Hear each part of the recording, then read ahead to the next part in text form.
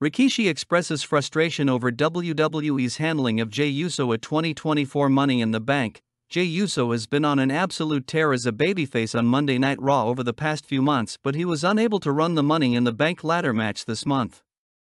In light of Uso's loss, Rikishi called out WWE over the same.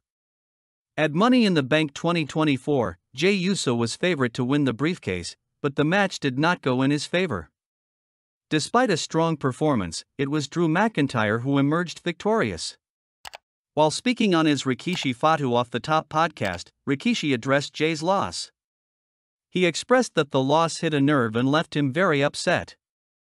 Rikishi emphasized that Jey Uso did not need a free pass because of his lineage. Rather, he had earned his place through his contributions to the company. Rikishi criticized WWE's decision and called them out for it, stating that it was the right time to launch Jey Uso into the main event scene with the briefcase and eventually crown him champion.